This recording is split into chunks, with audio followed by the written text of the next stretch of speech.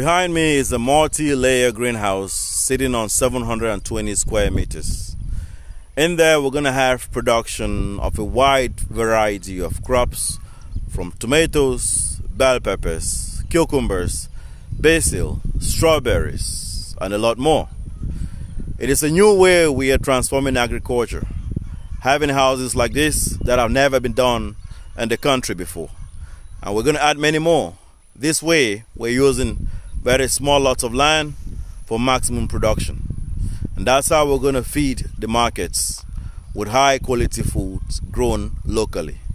What a way to change the game. It's the greenhouse way.